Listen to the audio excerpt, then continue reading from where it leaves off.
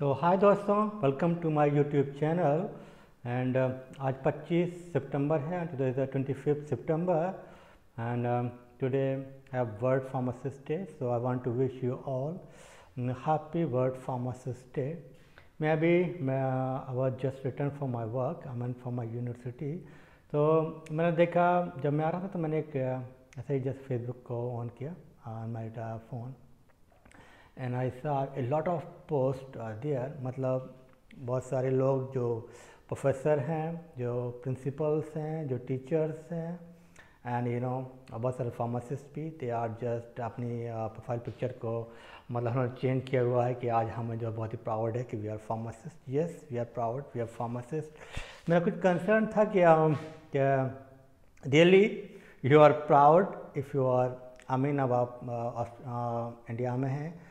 और आप as a pharmacist work कर रहे हैं तो आप रियली really, आपको प्राउड है क्या उस पर I don't think so most of the pharmacist are working just like marketing like M आरशिप and just like other guys also doing like science graduate and art art graduate and you are also working there so many of my classmates really they are doing the same job past many years. Few of them are like managers today, but still they are not happy.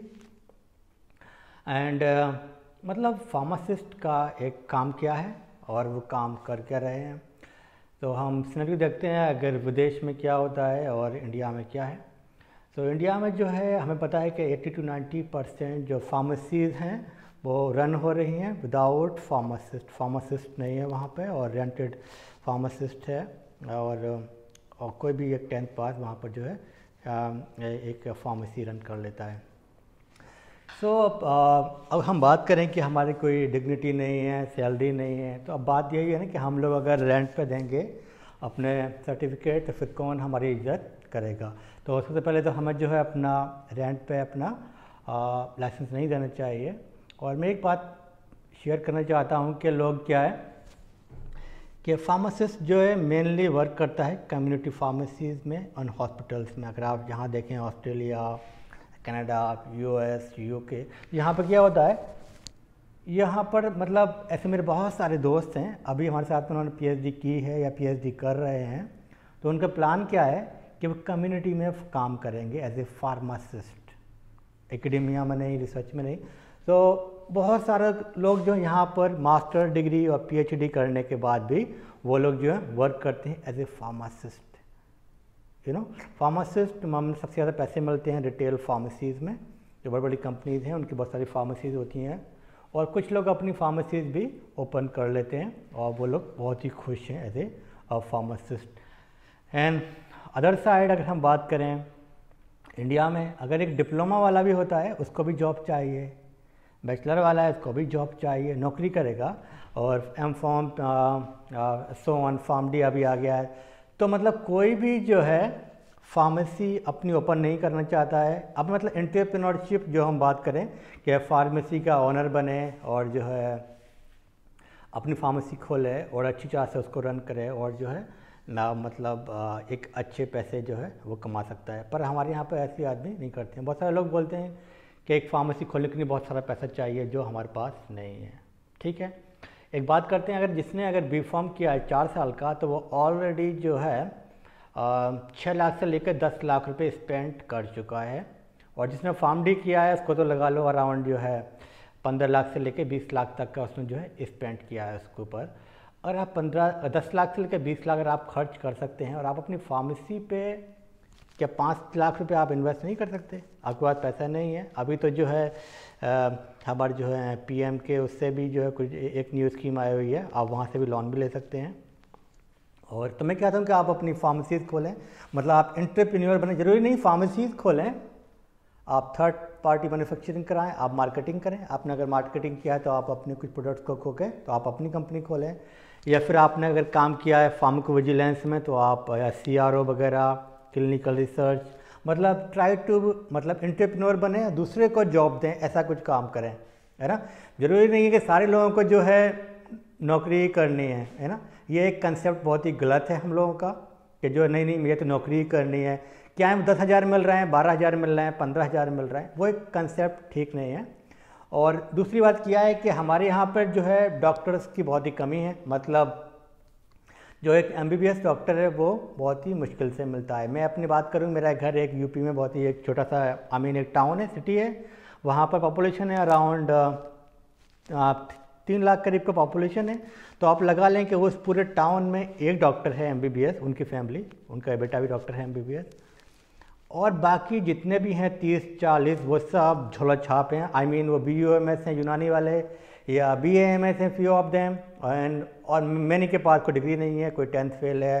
आ, मतलब मेरे बहुत सारे दोस्त हैं ऐसे जिन्होंने अपनी अपनी क्लिनिक की हुई है और वो लोग बहुत हैप्पी हैं वो लोग बहुत पैसा कमा रहे हैं। तो फार्मासिस्ट अभी अगर हम बात करें तो हमारे यहाँ पर लोग जो होते हैं मतलब गरीब हैं मतलब इतना पैसा नहीं है कि डॉक्टर के पास जाएँ और जो है अपना इलाज करा सकें।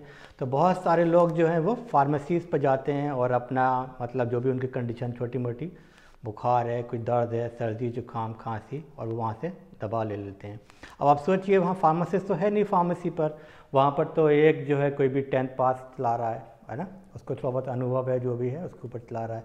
अगर आप, अगर सही से अगर आप जस्ट एक फार्मेसी ही चला लें तो आपको बहुत पैसा है। लोग बोलते हैं कि हम इतना पढ़ने के बाद फार्मेसी खोलेंगे। क्या मैं फार्मेसी में बैठूँ? मेरा अपना ही एग्ज़ाम्पल है। जब मैंने अपना फार्म डी किया था और उसके बाद एक दिन मैं अपनी शॉप पर बैठा हुआ था। मैं मतलब नॉर्मली शॉप पर बैठता हूँ अपनी आज भी जब भी मैं अपने घर पर जाता हूँ छुट्टी में तो मैं एक दिन बैठा हुआ था तो हमारे एक दूसरे केमिस्ट शॉप वाले हमारे एक रिलेटिव थे वो आए और उन्होंने कहा अरे यार अरे डॉक्टर साहब आप कब आए? मैंने कहा कुछ दिन पहले आया मेरा कोर्स ख़त्म हो गया तो अब दुकान तो उसने बोला दुकान पर क्यों बैठे हैं आप? नौकरी नहीं मिली आपको? तो मैं बोला नहीं नहीं मतलब मैं अभी बहुत सालों से पढ़ रहा था तो कुछ मुझे थोड़ा छोटा छोटा सा ब्रेक चाहिए इसके बाद दुकान बैठे हुआ तो, मतलब लोगों का परसेप्शन ऐसा है कि आप पढ़ने के बाद मैंने कि मैं फार्मासिस्ट हूँ, मैं अपनी शॉप पर नहीं बैठ सकता। बोलेंगे, अरे यार, ये तो मतलब एक टेंथ वाले का काम है। तो लोगों के अंदर अवेयरनेस नहीं है तो हमें जो है अवेयरनेस भी करना चाहिए। अवेयरनेस मतलब बढ़ाना चाहिए कि जो फार्मासिस्ट से ही आप दवाई लें और जो है विदाउट एक अनपढ़ आदमी से दवाई लेना मतलब एक अनपढ़ ही है वो। उससे बहुत ही खतरा भी है और मतलब जान माल का खतरा है। हम पैसे ऑलरेडी दे रहे हैं और ये सब। तो मेरा कहने का ओवरऑल मैसेज ये था कि try to be get some experience वो भी रिटेल में हो या मार्केटिंग में हो या किसी भी उसमें हो और फिर try to be start your own business business में मतलब रिस्क तो है कि जो है आप आगे बढ़ेंगे या नहीं, मगर अगर आप एक बार आगे बढ़ गए, बहुत सारे एग्जांपल्स हैं फार्मा में तो अगर आप देखें तो जैक्सन पार्क का मालिक था एक सन फार्मा का ही ले लीजिए। और दूसरे बहुत सारी ऐसी सक्सेस स्टोरीज़ हैं आपके पास कि आप देखेंगे एक गुडलक फार्मा एक कंपनी है छोटी सी।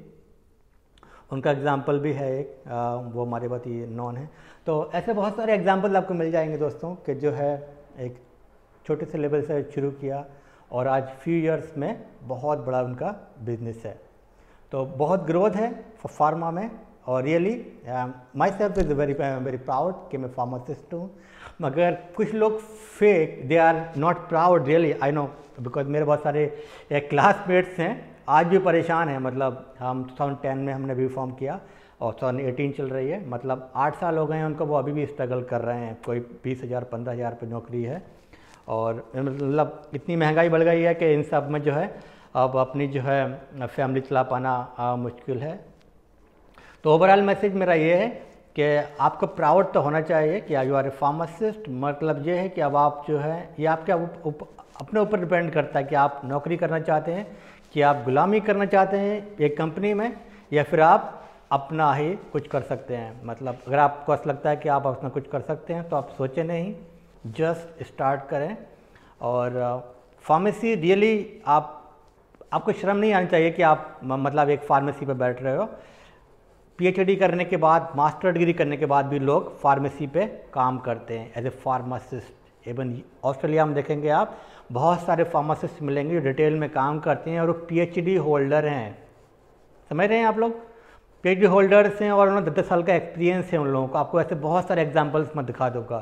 तो कोई शर्म की ऐसी कोई बात नहीं है और आप लोग जो हैं मतलब जो है अपना सर्टिफिकेट रेंट पे नहीं दें. और जो है, आप जो है सेंट पे रेंट पे नहीं दें और और जो आप अपना काम शुरू करें, कुछ एक्सपीरियंस लें, कुछ पैसा वैसा इकट्ठा करें या लोन लें।